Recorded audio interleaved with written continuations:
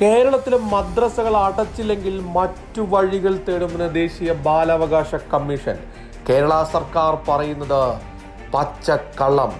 കേരള സർക്കാരിന്റെ വാദം ദേശീയ ബാലാവകാശ കമ്മീഷൻ തള്ളി.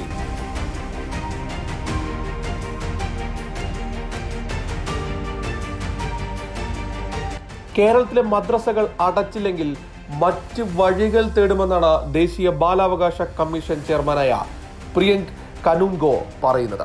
രാജ്യത്തെ മദ്രസകൾ അടപ്പിക്കുന്നതുമായി ബന്ധപ്പെട്ട് വർഷങ്ങൾ നീണ്ട പഠനത്തിനൊടുവിലാണ് തീരുമാനത്തിലെത്തിയതെന്നും അദ്ദേഹം പറയുന്നു. മദ്രസകളില്ലെന്നും ധനസഹായം നൽകില്ലെന്നുമുള്ള കേരള സർക്കാരിന്റെ വാദം കള്ളമാണെന്നും പ്രിയങ്ക പ്രതികരിച്ചു.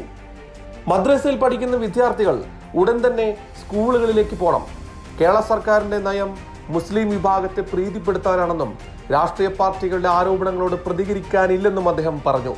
ബാലാവകാശ കമ്മീഷന്റെ പുതിയ നിർദ്ദേശത്തിനെതിരെ നിരവധി രാഷ്ട്രീയ പാർട്ടികളാണ് വിമർശനവുമായി രംഗത്തെത്തിയിരിക്കുന്നത്. കേന്ദ്ര സർക്കാരിന്റെ നീക്കം വർഗീയപരവും വിവേചനപരവുമാണെന്നും നാഷണൽ ലീഗ് സംസ്ഥാന organising secretary N K Abdul Aziz പ്രതികരിച്ചു. മദ്രസ സംവിധാനത്തെ തകർക്കണമെന്നത് സംഘപരിവാർ അജണ്ടയാണെന്നും കേന്ദ്ര ബാലാവകാശ കമ്മീഷന്റെ നിർദ്ദേശങ്ങൾ ഭരണഘടനാ വിരുദ്ധമാണെന്നും ഐ എൻ എൽ പ്രസ്താവന ഇറക്കി. മദ്രസകൾക്കുള്ള ധനസഹായം നിർത്തലാക്കണമെന്ന നിർദ്ദേശത്തിനെതിരെ സമസ്തയും വിമർശിച്ചു. കേരളത്തിലെ മദ്രസകൾക്ക് സർക്കാർ സഹായം നൽകുന്നില്ലെന്നും എന്നാൽ ഉത്തരേന്ത്യയിലെ മദ്രസകളിൽ ഫണ്ട് നൽകാറുണ്ടെന്നും സംസ്ഥാന നേതാവ് അബ്ദുൽ സമദ് പൂക്കോട്ടൂർ പ്രതികരിച്ചു. ഇപ്പോഴത്തെ ബാലാവകാശ കമ്മീഷന്റെ നിർദ്ദേശം ഉത്തരേന്ത്യയിലെ കുട്ടികളുടെ അവകാശ നിഷേധമാണെന്നും അദ്ദേഹം പറഞ്ഞു. മതം അനുഷ്ഠിക്കാൻ ഇന്ത്യയിൽ അവകാശമുണ്ടെന്നും ഇതിനെതിരെയുള്ള നിർദ്ദേശമാണിതെന്നും അദ്ദേഹം കൂട്ടിച്ചേർത്തു.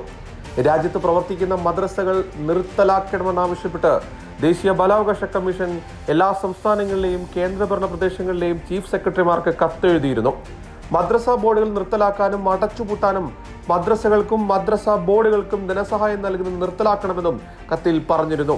മദ്രസകളിലെ വിദ്യാഭ്യാസ രീതി കുട്ടികളെ ഭരണഘടനാ അവകാശങ്ങൾ ലംഘിക്കുന്നുണ്ടെന്ന് ചൂണ്ടിക്കാട്ടിയാണ് ബാലാവകാശ കമ്മീഷന്റെ നിർദ്ദേശം.